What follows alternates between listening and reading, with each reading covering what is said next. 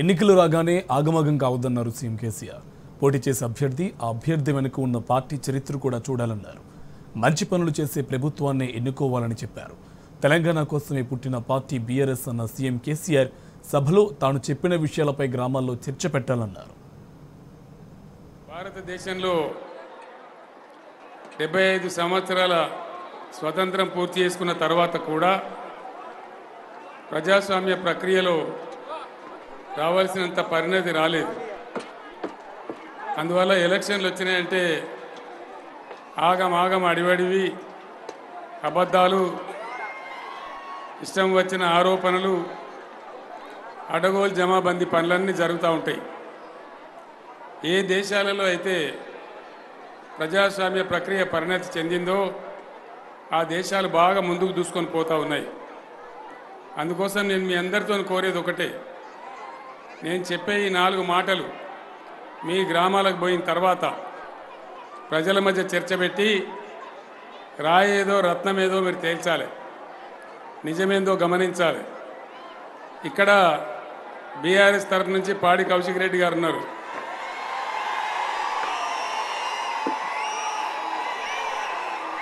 అట్లనే అట్లనే కాంగ్రెస్ పార్టీ నుంచి ఒక ఆయన ఉన్నారు.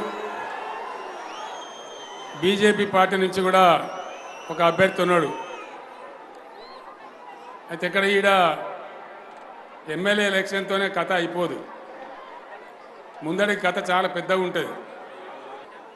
ఎమ్మెల్యేలు అభ్యర్థులు పార్టీ కావాలి నిలబడతారు. మనకు తెలుసు ఆ విషయం. ఎమ్మెల్యే గురించి మీరు తప్పకుండా ఆలోచన చేయాలి. నిలబడ్డ వ్యక్తులు ఎవరు? వీళ్ళ గుణగణం ఏంది మంచి చెడ్డలేంది? వీళ్ళకి అవకాశం ఇస్తే గెలిస్తే ఏం చేస్తారు? తప్పకుండా ఆలోచన చేయాలి. అంతకంటే ముఖ్యంగా ప్రతి అభ్యర్థి వెనకాల పార్టీలు ఉన్నాయి. ఆ పార్టీల చర్చ చరిత్ర మీద తప్పకుండా ప్రజలలో చర్చ జరగాలి. ఏ పార్టీ చరిత్ర ఏంది? వాళ్ళ నడవడిక ఏంది? ప్రజల గురించి వాళ్ళ ఆలోచన సరళి ఏంది వాళ్ళ దృక్పథం ఏంది అనేది ఆలోచించి ఓట్లేస్తే అది ప్రజల గెలుపు అవుతుంది వ్యక్తుల గెలుపు కాదు. అప్పుడే మంచి ఫలితాలు వస్తాయి. కాబట్టి దయచేసి నేను మిమ్మల్ని అందరినీ కోరేది గుడ్డిగా ఏదో ఒక ఊపులో ఓటేయడం కాదు.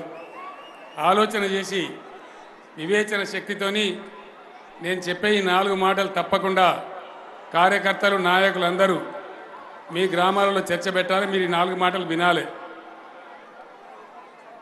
పార్టీలు అని నేను చెప్పిన పార్టీల చరిత్రలు ఏంటి? ఇలా మూడు ప్రధానంగా పార్టీలున్నాయి బీఆర్ఎస్ పార్టీ పుట్టిందే తెలంగాణ ప్రజల కోసం. తెలంగాణ రాష్ట్రాన్ని సాధించడం కోసం. తెలంగాణ ప్రజల హక్కులు కాపాడడం కోసం. మిగతా రెండు పార్టీలకు కూడా చరిత్రలు ఉన్నాయి. కాంగ్రెస్ పార్టీ చరిత్ర ఏంది? బీజేపీ పార్టీ చరిత్ర ఏంది? వాళ్ళ వైఖరి మన రాష్ట్రం మీద ఏ విధంగా ఉంది? అవి కూడా దయచేసి మీరు ఆలోచన చేయాలి. అప్పుడే మీరు ఓటు వేయాలి. ఏదో గుడ్డిగా మా బావమరిది చెప్పిండు మా చిన్నాని చెప్పిండు అని పొరపాటు కూడా ఓటు వేయద్దు.